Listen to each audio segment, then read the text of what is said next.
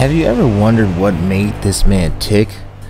What drove him to be the greatest bodybuilder of all time, then become a great action movie hero and a great Hollywood actor, and then the governor of California, and now almost a aged sage in this stage of his life? What makes any man want to go and keep giving and giving? Well, he's authored a new book, and we're here to discuss part two of Be Useful Seven Tools for Life by Arnold Schwarzenegger.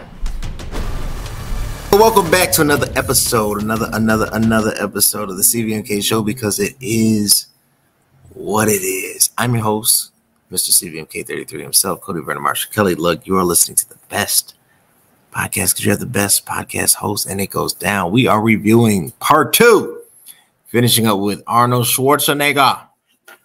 Be useful. Seven tools for life. Prolific, my no, it is a prolific read. Honestly, it shocked me. As I mentioned in the first part, part one of the review. More than what I bargained for, more than inspirational, but really thought provoking. Getting into the psychology of what creates greatness. But before we get into it, if you want to keep seeing amazing content, you know what you got to do. Subscribe, hit the like, share, and subscribe button. YouTube at CVMK. Follow us on the business pages. Go to CVMK underscore global. It is what it is underscore show and CVMK 33, where it goes down and where the best supplements are. www.cvmkglobal.store. We'll be back with the review and ending part two of Arnold's Be Useful book after this message.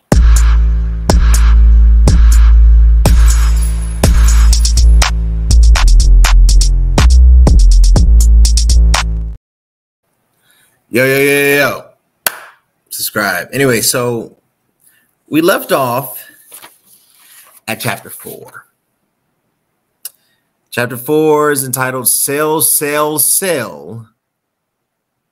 And it's really about your vision, your product, your business. It all is about selling. Selling. Are you a seller? This is a notable quote. This is something that really says, being open about what you are trying to achieve and then telling your story that is perceived or that needs to be, it should have been worded, perceived in the most positive light by your customer. So there's three aspects of this. It's being open, completely transparent, open, about what you're trying to aim for, communicating that verbally and non-verbally about what you're trying to aim for. Then allow this aim to actually be received in a positive light. Turn your driver into something that people want to rally behind. And then you will develop a customer base. Because if you don't have any customers, how can you develop it by your customers? So ultimately you have to track that and then understand that what you attract. Sell, sell, sell is a fantastic point of view. And I think it speaks to us on so many levels. I think what we don't want to uh, acknowledge a lot of times is the mere fact that if you can't articulate it, we can't believe it. The word is power.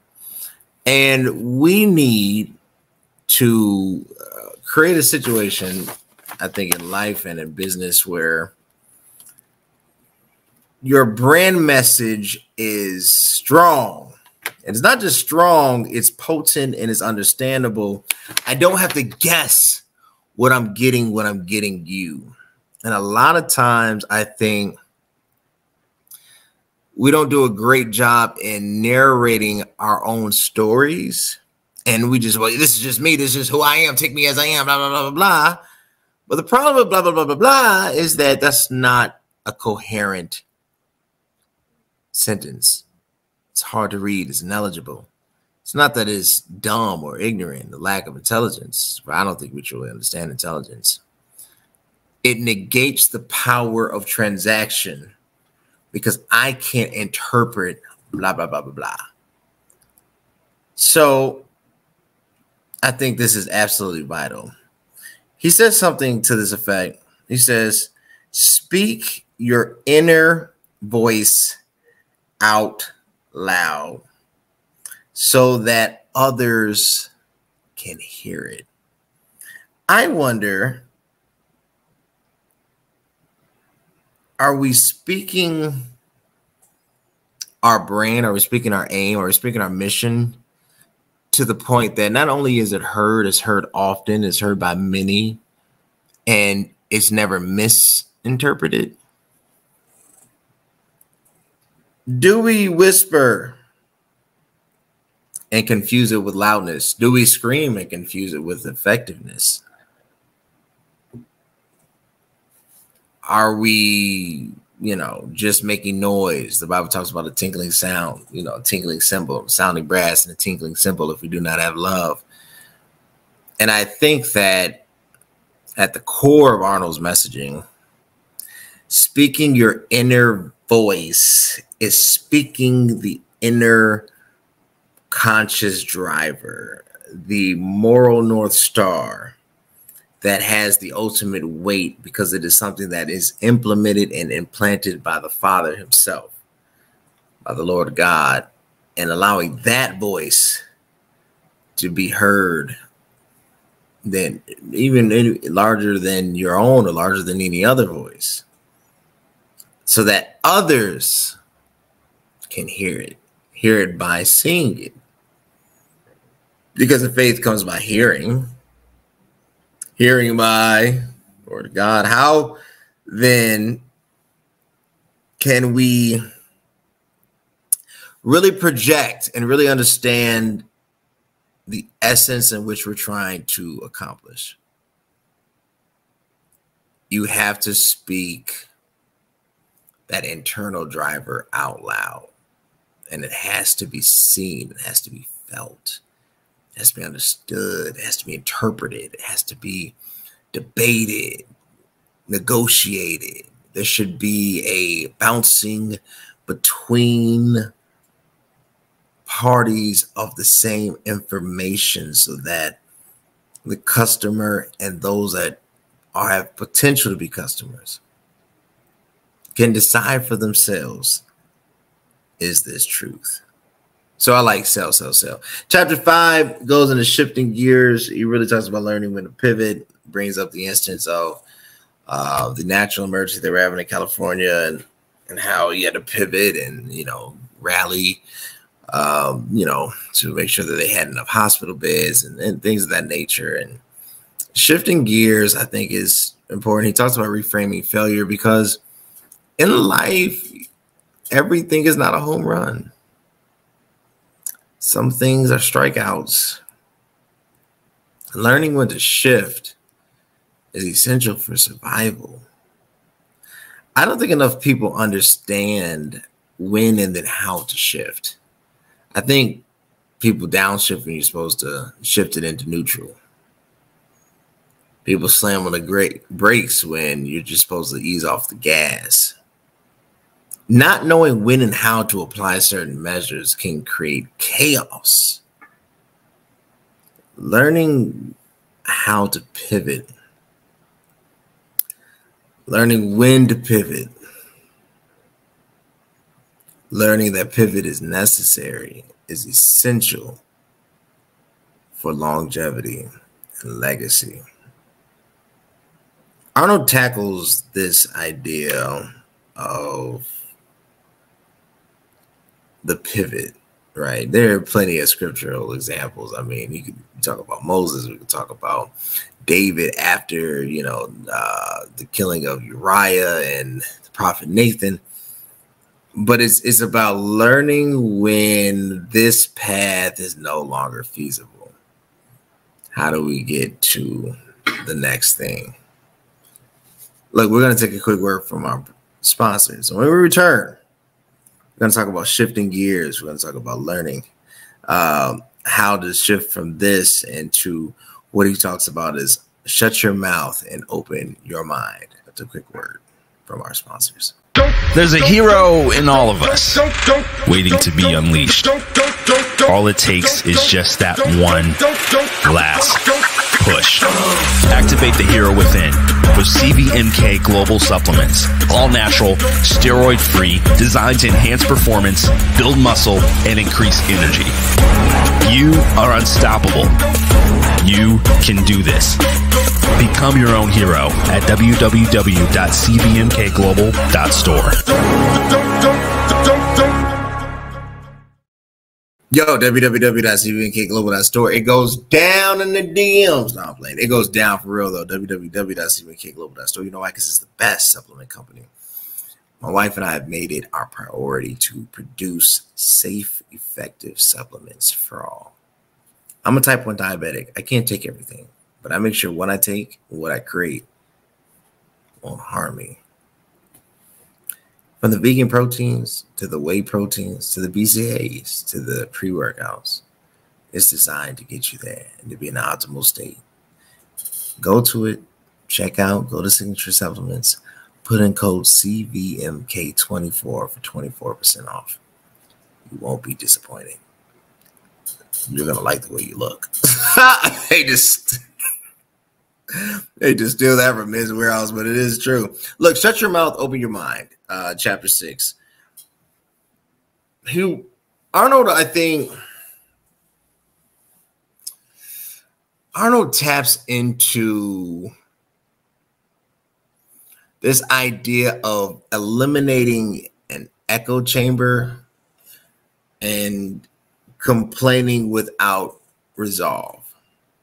Two things.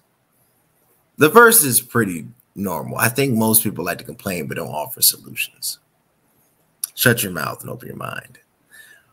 But reducing, if not trying to strategically um, eliminate an echo chamber so that positive outcome can occur, that we can consider the alternative even if we don't decide to go with it, but for the sake of humanity and proper due process, I think is pertinent.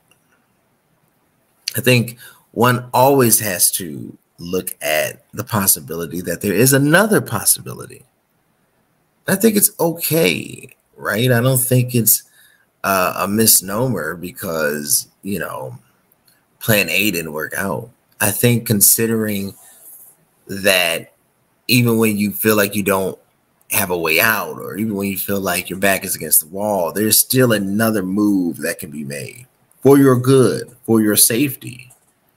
And it's about understanding this complexity, understanding how to do this thing, right? So I think that's absolutely essential. And then the last thing is break your mirrors break what you see and envision a new reality. Break comparisons. There's a hero in all of us. As I about to edit that part out, I was writing that. But break, break, break your weaknesses, but also break the over reliance upon strength break from the need to be lethargic, break from apathy, break from slowfulness, break from mundane activity, break your mirrors and see a new world. I think when we prioritize envision, we will have a new vision you have to get past environmental reflections and societal pressure and embrace who you're called to be in order to exact this reality. And when you do that, when you effectively break your mirrors, you shall have peace. So I think overall, going through the book, it is a good read. As a believer, it echoes the very intentions of the scriptures. And it's interesting that Arnold, who is in now his 70s, mid 70s, has come to a point in life that even he realizes that the wisdom that I've gained has been all because of a certain aspiration. And this aspiration is a certain mode of faith. And this modality of faith is what has allowed me to get to this point in time. And to share that with all is going to help lead to some positive results. Yo, this has been another episode. Look, I want you to do this. If you want to keep seeing it, I keep bringing it up. I'm gonna have to play the video for you because you don't get it. You don't get it. You don't get it. So let me take you there so you can get it for yourself.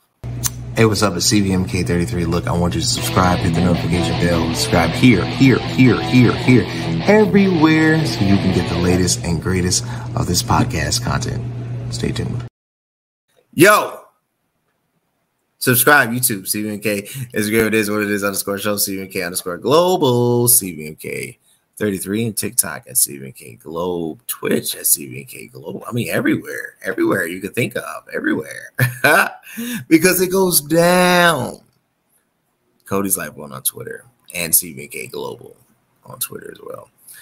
I believe in reading, and if you are what you eat, you also have to ingest proper material into your cerebrum, to your psyche, because you don't want your mental space to be clogged down with artificial flavoring and sugar. And obviously, the Word of God being the best protein. But there are other things that you can surround yourself with to build a better life and a better you. And I highly recommend Be Useful Seven Tools for Life bring the book out so you know what it look like by Arnold himself. www.cvmkglobal.store. And until next time, guys, thanks. If you think exercise alone got me looking like this, well, think again. CVMK Global Super Thick got me right. I'm obsessed, and yeah, I won't stop talking about it because it helped me grow in all the right places. Its creatine provides a fast and reliable way to increase your power, size, and shape, and it's scientifically proven to help you reach your physical goals in a safe, controlled manner. So if you want to increase muscle size, pump, and thickness in your muscle groups, you need Super Thick.